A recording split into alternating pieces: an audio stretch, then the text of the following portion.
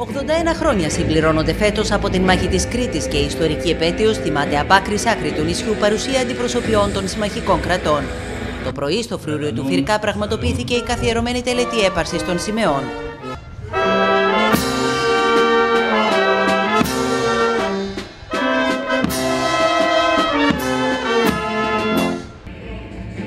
Ήρωες της πιο άνηση μάχης όλων των εποχών που καθόρισε την πορεία του Δευτέρου Παγκοσμίου Πολέμου απέδωσαν αντιπροσωπείες του Ηνωμένου Βασιλείου, της Αυστραλίας και της Νέας Ζηλανδίας.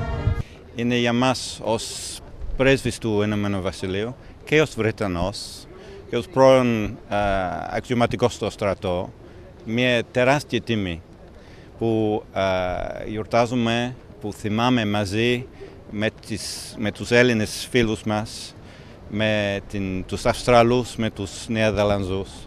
Μια τέτοια σημαντική ιστορική, α, ιστορικό γεγονότο.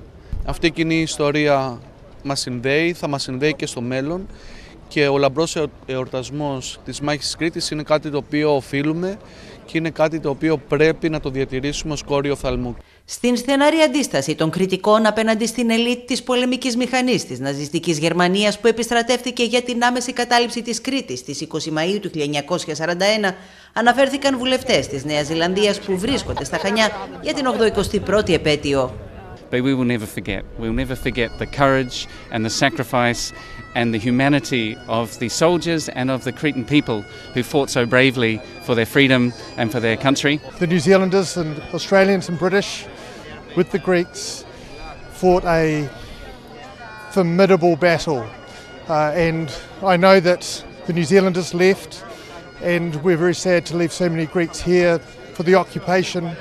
And we know what went on, uh, but we're very proud to be part of it and to help the Greek people in their struggle.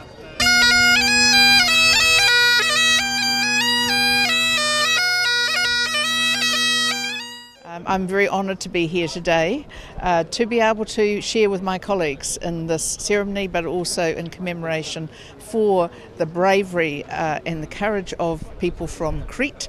Η τελετή λήξη των εκδηλώσεων θα πραγματοποιηθεί την Κυριακή στο αεροδρόμιο του Μάλεμε με επιμνημόσυνη δέηση, πτώση αλεξιπτωτιστών της πρώτης ΜΑΛ και αεροπορικές επιδείξεις.